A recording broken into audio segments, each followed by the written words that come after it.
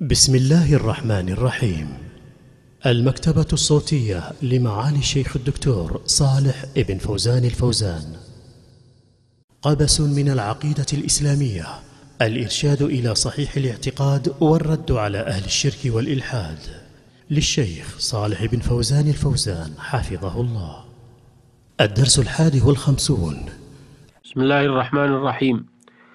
الحمد لله وحده والصلاة والسلام على نبينا محمد وآله وصحبه ومن تبعهم بإحسان إلى يوم الدين وبعد.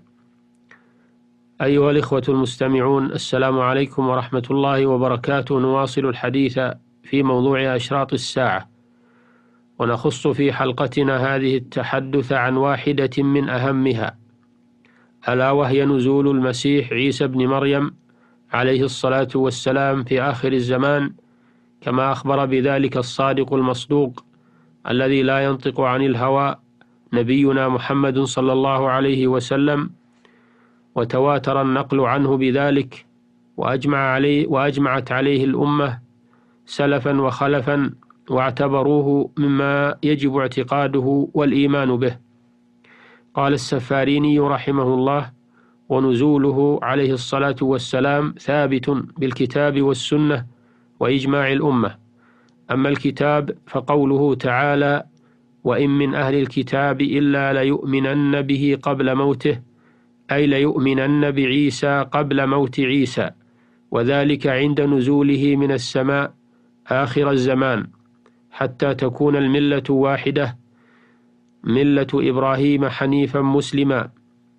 إلى أن قال وأما السنة ففي الصحيحين وغيرهما عن أبي هريرة رضي الله عنه. قال قال رسول الله صلى الله عليه وسلم والذي نفسي بيده ليوشكن أن ينزل فيكم ابن مريم حكما عدلا فيكسر الصليب ويقتل الخنزير ويضع الجزية. الحديث وفي مسلم عنه والله لينزلن ابن مريم حكما عدلا فيكسر الصليب. وأخرج مسلم أيضا عن جابر بن عبد الله رضي الله عنه. قال قال رسول الله صلى الله عليه وسلم لا تزال طائفة من أمتي يقاتلون على الحق ظاهرين إلى يوم القيامة. فينزل عيسى بن مريم فيقول أميرهم تعال صل بنا فيقول لا إن بعضكم على بعض أمراء تكرمة الله هذه الأمة وأما الإجماع فقد أجمعت الأمة على نزوله ولم يخالف فيه أحد من أهل الشريعة وإنما أنكر ذلك الفلاسفة والملاحدة ممن لا يعتد بخلافه وقد انعقد إجماع الأمة على أنه ينزل ويحكم بهذه الشريعة المحمدية وليس ينزل بشريعة مستقلة عند نزوله من السماء وإن كانت النبوة قائمة به وهو متصف بها. ويتسلم الأمر من المهدي ويكون المهدي من أصحابه وأتباعه كسائر أصحاب المهدي. انتهى كلام السفاريني رحمه الله.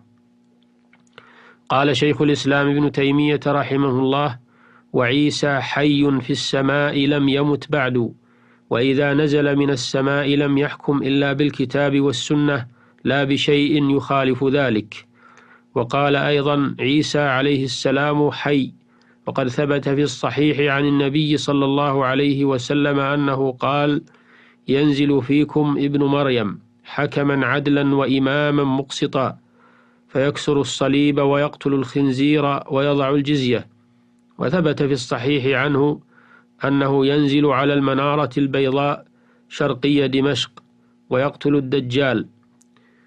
ومن فارقت روحه جسده لم ينزل جسده من السماء. وإذا أحيي فإنه يقوم من قبره. وأما قوله تعالى إني متوفيك ورافعك إلي ومطهرك من الذين كفروا فهذا دليل على أنه لم يعن بذلك الموت. إذ لو أراد بذلك الموت لكان عيسى في ذلك كسائر المؤمنين فإن الله يقبض أرواحهم ويفرح بها فإن الله يقبض أرواحهم ويعرج بها إلى السماء.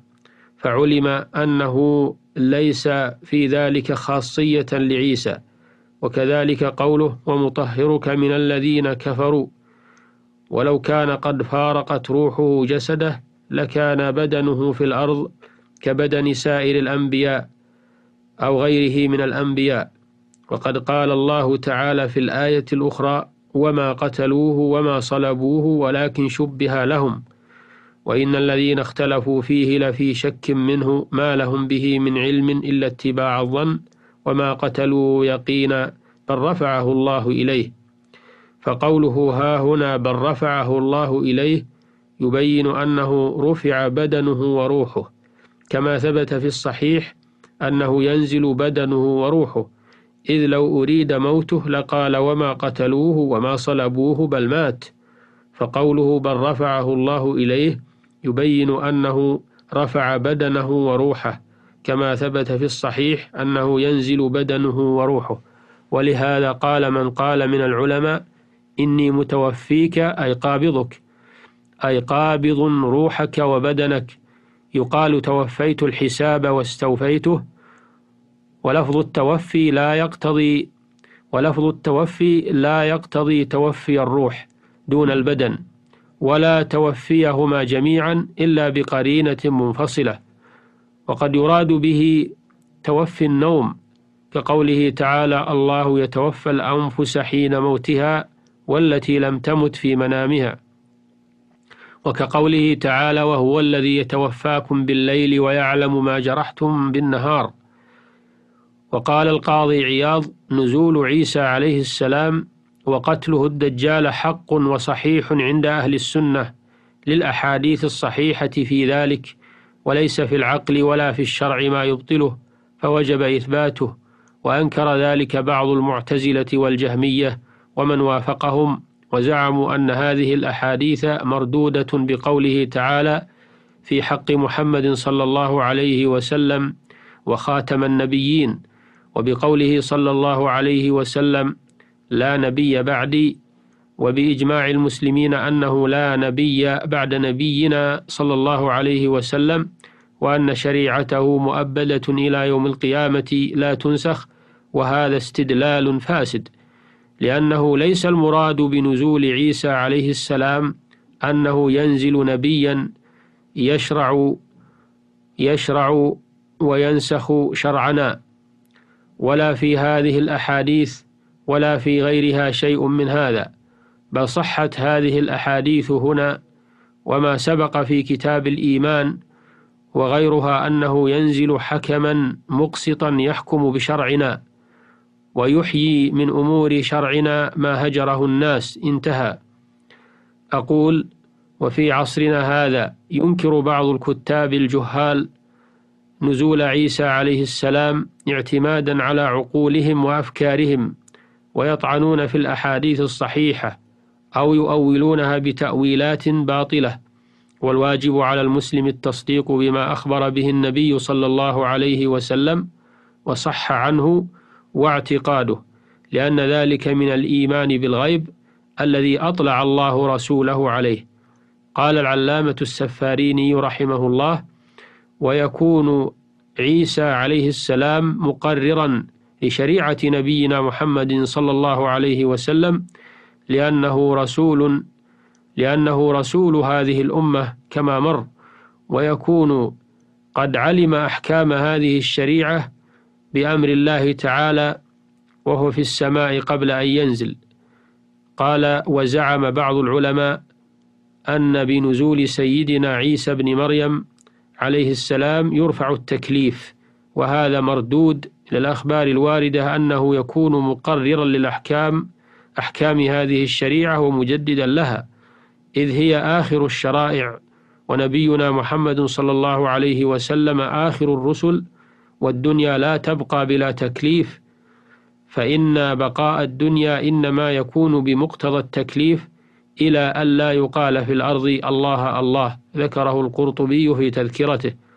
قال وأما مدته ووفاته فقد ورد في حديث أبي هريرة رضي الله عنه عند الطبراني وابن عساكر أنه صلى الله عليه وسلم قال ينزل عيسى بن مريم فيمكث في الناس أربعين سنة. وعند الإمام أحمد وابن أبي شيبة وأبي داود وابن جرير وابن حبان عنه أنه يمكث أربعين سنة ثم يتوفى. ويصلي عليه المسلمون ويدفنونه عند نبينا محمد صلى الله عليه وسلم. هذا وإلى الحلقة القادمة بإذن الله تعالى. لنواصل الحديث معكم في موضوع في موضوع آخر إن شاء الله. والحمد لله رب العالمين. والصلاة والسلام على نبينا محمد وعلى آله وصحبه أجمعين.